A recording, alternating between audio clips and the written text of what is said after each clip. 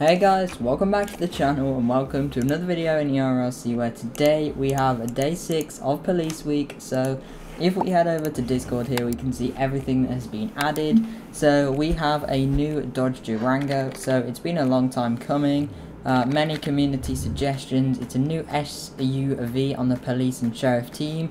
Uh, locked at rank 6 captain has all packages and options. Slightly faster than the 2020 Explorers and the Tahoe so uh, the 2020 FPIU has been moved from rank 6 to rank 5 lieutenant. So if you're rank 5 you'll now get this vehicle for free. So as you can see on this image it looks really really really cool. So we're going to go ahead and join over onto the police team just now. And then um, I'm going to show you what it's all about. So if we load in here, um, we didn't get anything else today. Uh, I'm really curious as to what tomorrow is, day 7. I'm really excited for that. Um, but if we, here we go, so Dodge Durango Pursuit, this looks absolutely amazing. Uh, if we spawn this in here, as you can see, this is a really, really, really nice car. Um, the lights on it, oh my gosh, the lights are really, really bright on this.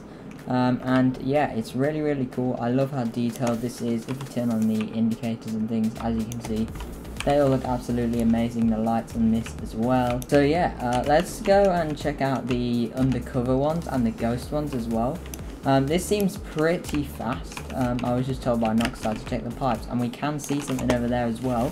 So we'll go and check that out in just a moment. But let's check out the undercover one for now. Um, so here we go. We have the white one. So I don't want him to teleport me because I did see it.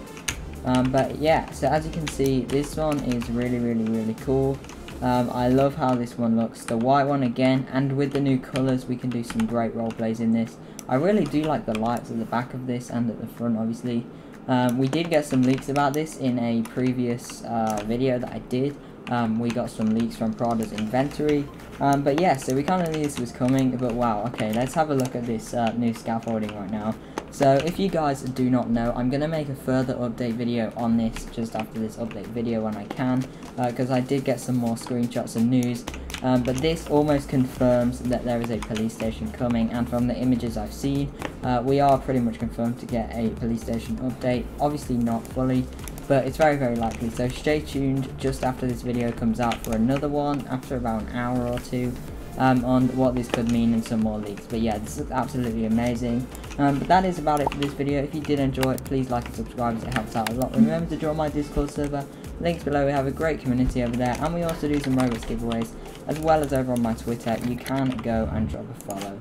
Um, so let's just check out the ghost one here. But yeah, so thank you so much for watching. And let's check out this one just over here. So as you can see, the ghost looks really, really nice as well.